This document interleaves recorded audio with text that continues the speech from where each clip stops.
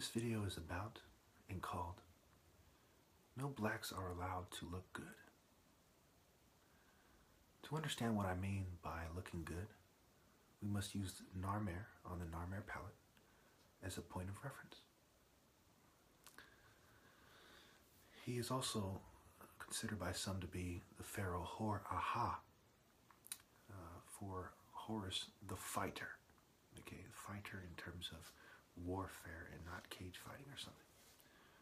Okay, so when we consider this, or one of my pictures back uh, a while back when I, before I was wearing these glasses and so on, when I look good and heroic, really, is really what looking good really means, you know.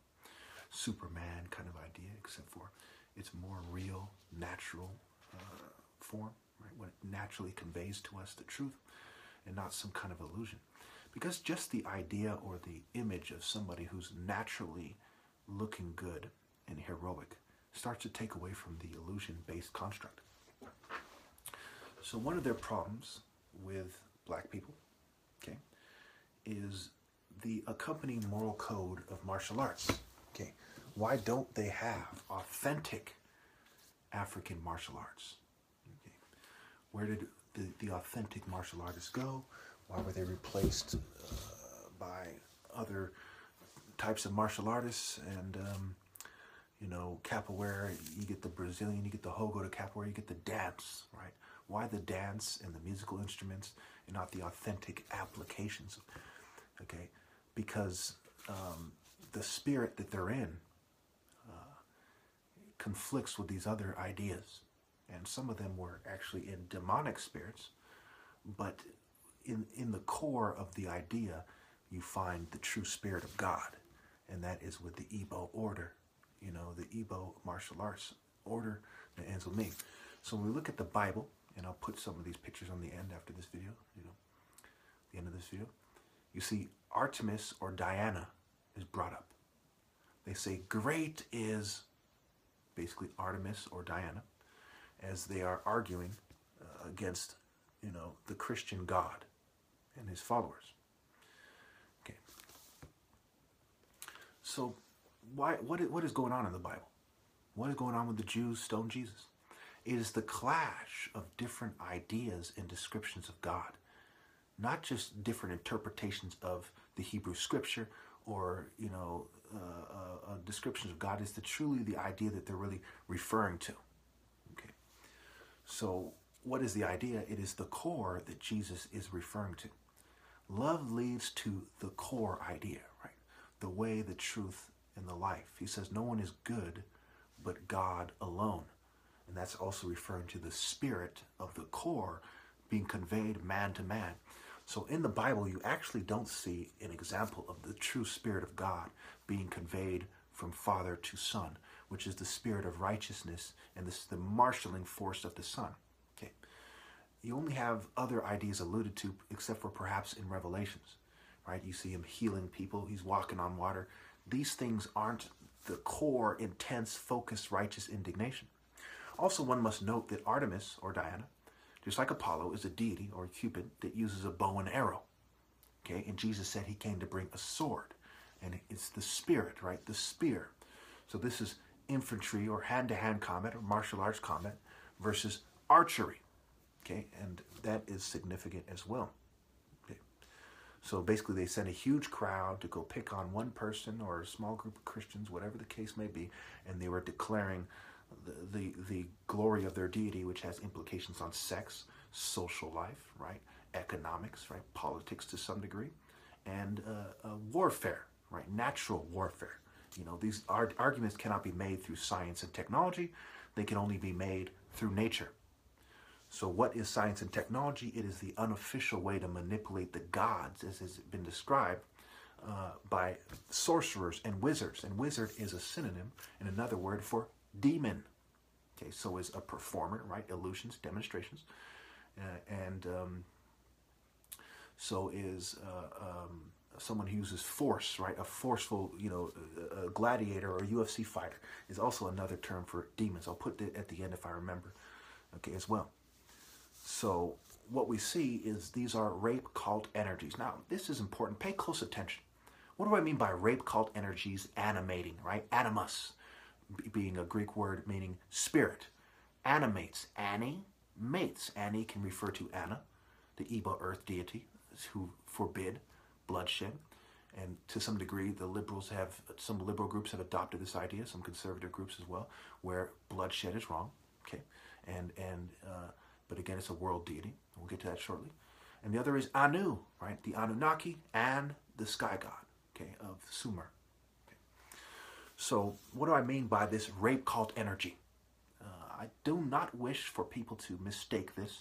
This is why I'm going to go over it again.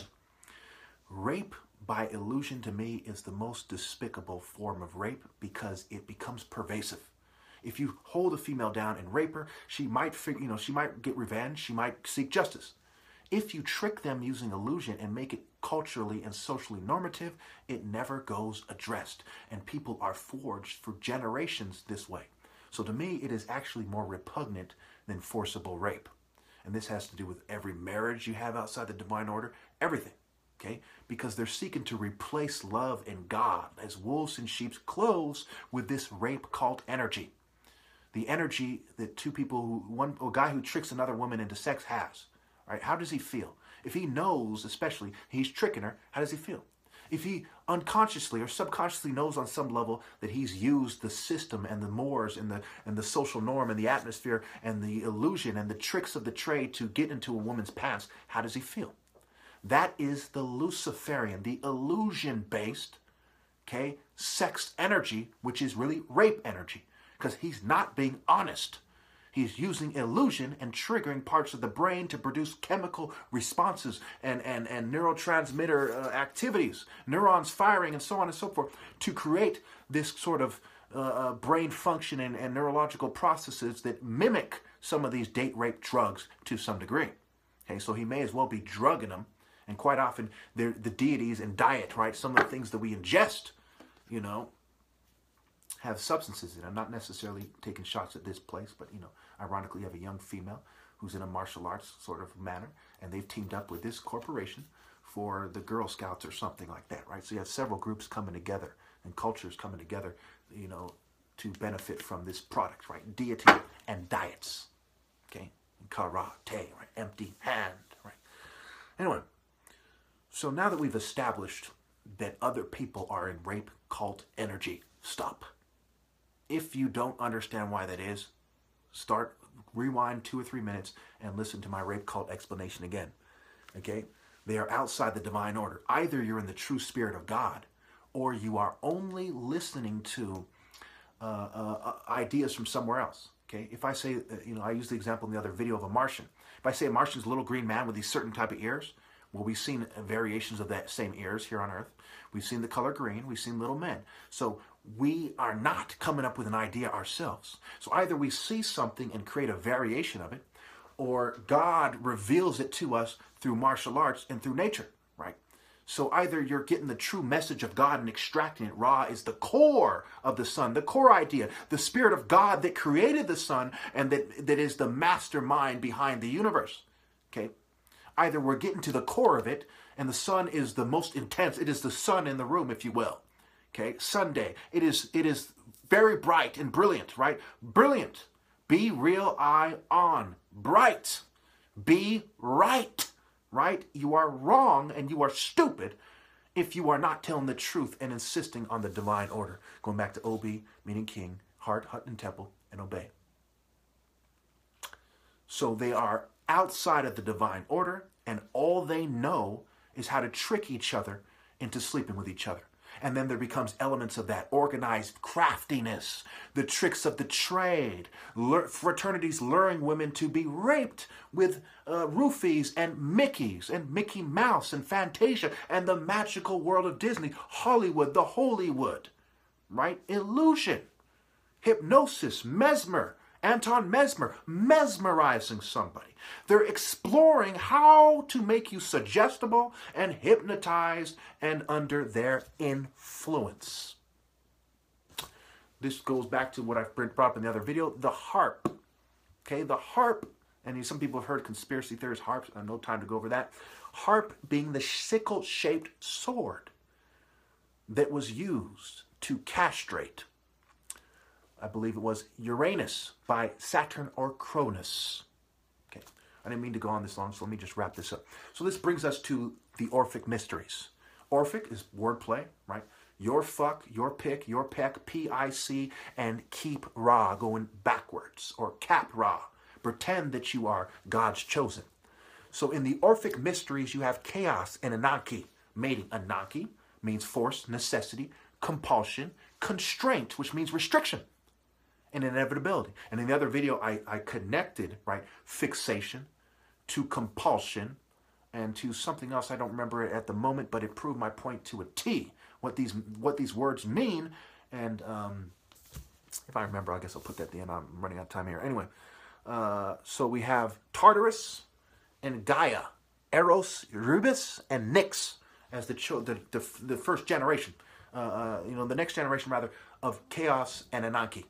Tartarus is the abyss, Gaia is earth, Eros is erotic desire, Erebus is darkness, and Nyx is night. There's wordplay there, don't have time to go over it. Look it up yourself. I've taught you how the formula, a pretty valid formula for wordplay. Think of Yahweh without the vowels versus Yahweh with the vowels. It has a lot to do with the wordplay, magic spell, and so on and so forth. So, so what has happened here is chaos and the ideas of necessity, compulsion, constraint, and inevitability in this context has created an abyss. It creates earth. It has created erotic desire, darkness, and night. There's nothing good there. Right? The God of this world. It's the world. It's evil. The abyss is evil. Erotic desire is wrong. You know, it's trying to replace true love. Darkness and night are wrong. And these things are various components of their parents. Okay? So then we get the mating of abyss, the abyss, and earth. Okay, and we get Typhon, who is compared to Set. He is a deity of the storms. Then we have from the earth itself is said to spring Uranus, Aura, the uh, Uranus, the sky god, or and, and he's said to be an astronomer. Okay, Aura, um, or Oru uh, mountains, and also I can't really read this other one. I'll, I'll you know put in the comments so I remember. Anyway, so from Uranus we get Saturn and Zeus. From Erebus and Nyx, darkness and night, we get ether and Hemera. Okay, heaven and day. So how can darkness and night create heaven and day? Well, remember, their their uh, their parents are Ananke, you know, uh, are chaos and Ananke, right? From chaos and and Ananke, force, necessity, compulsion, constraint, and inevitability, you have darkness and night. So it's all a lie. It's in the darkness. This is the dark side, as they say in Star Wars and Western culture. Okay? From the dark side, you get a fake heaven and you get fake day. Darkness and night cannot create heaven, nor can they create day. Okay? What the idea is, it's an illusion based culture, and that's what they're doing.